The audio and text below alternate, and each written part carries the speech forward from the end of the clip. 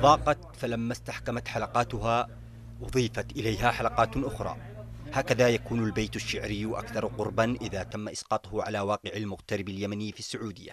لا تكاد الحكومة السعودية تفرغ من إجراءات بحق المقيمين في المملكة حتى تبدأ إجراءات أخرى تضيق الخناق عليهم.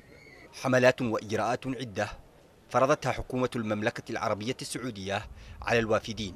ابتداء من سعودة الأعمال وانتقالا إلى فرض رسوم على مرافقي المقيمين وانتهاء بشن حملة وطن بلا مخالف التي تهدف إلى ترحيل أكبر قدر ممكن من العمالة الوافدة. شملت الحملة التي حددتها وزارة الداخلية السعودية في وقت سابق كل من لا يحمل وثيقة إقامة تثبت هويته أو كل من يحمل وثيقة ولكنه مخالف لنظام الإقامة والعمل. كما تستهدف الحملة كل من دخل المملكة بتأشيرة حج أو عمرة أو زيارة أو عبور ولم يغادر بعد انتهاء فترة صلاحية تأشيرته إضافة إلى كل وافد خالف التعليمات بالحج دون تصريح.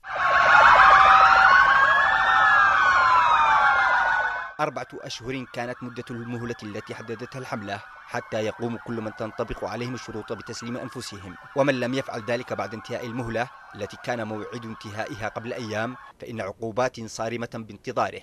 تتمثل بالترحيل ودفع غرامة 15 ألف ريال سعودي وتتضاعف المبالغ بتأخر تسليم الشخص نفسه لتصل إلى 50 ألف ريال سعودي للمخالف و100 ألف للمتسلل إضافة إلى السجن لستة أشهر.